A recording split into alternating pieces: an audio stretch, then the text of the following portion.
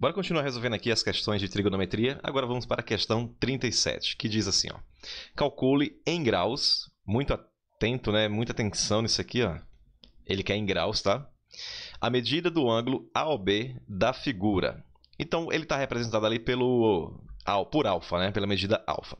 Como é que nós calculamos a medida alfa desse ângulo aqui? Vamos calcular o seguinte. Alfa tem uma fórmula, tá? é igual a L. O que, que é o L? L é o comprimento aqui do arco, desse arco AB, dividido por R. Quem é R? R é o raio. Ó. Daqui, do centro O, até tocar aqui na borda da circunferência, ok? E isso aqui vai ser dado em quê? Em radianos, beleza? Então, essa é a fórmula, que você calcular a medida de, de um ângulo, ok? Então, veja só, só que a questão é em graus. Se você colocar aqui, ó, vamos calcular aqui, ó, vamos ter que alfa será igual a L, que é 3, que é a medida do arco, dividido por 10. Isso aqui vai estar em quê? Em rádio. Temos que transformar de rádio para graus. Então, vamos seguir aquela relação lá, né?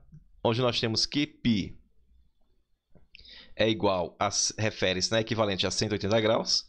Então, vamos ter que 3 sobre 10 rad vai ser x. Então, vai ficar assim, ó, que x é igual a 3 décimos vezes 180 dividido por π. Logo, teremos que x vai ser igual aqui, ó, dividindo aqui, ó, 0 com 0. Agora vai ficar 3 vezes 18 certo? Então, 3 vezes 8, 24, vai 2 para cá. Ó.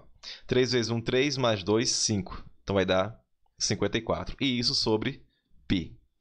Vamos fazer o seguinte, ó. vamos ter aqui que x é igual a 54, e vamos considerar π como sendo 3,1416, que é para ficar igual à resolução do livro, certo?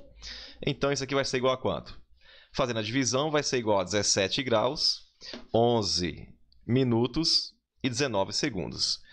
É, tem alguns vídeos anteriores dessa playlist aqui de trigonometria que eu explico como é que você faz essa divisão aqui, ó, para chegar em graus, minutos e segundos, tá?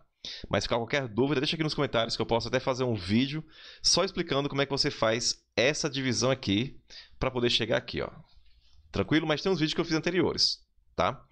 Então é isso. Se inscreve aqui no nosso canal e deixa o like em nosso vídeo também. Até o próximo vídeo e valeu!